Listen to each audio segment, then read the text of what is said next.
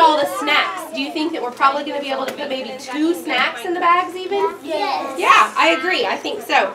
First, we're going to walk through, and my partners are going to pick one thing. The ISD does the Great Kindness Challenge every year at the end of January. So this year we tried really hard to come up with something how we could help the community. We talked about making blessing bags for our homeless community. Our kids see a lot of homeless people in their neighborhoods and at the parks, and we really wanted them to be able to see how they could actually help.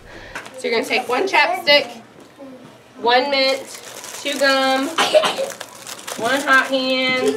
And we sent notes home, and our families were really great. And they all participated. We also had a Mill Creek Stampede dance, and families brought in those things as their admission to the dance. Um, we collected them all and then sorted them for classrooms to have to be able to put together these bags. Students brought in protein snacks, gloves, mittens, hot hands, and thing, other things they thought that we could put in these bags. And we are partnering with Stone Church. Some different families and myself will be taking up the bags and passing them out to those people that are in need of those things. What is it? Peanut butter. Peanut butter.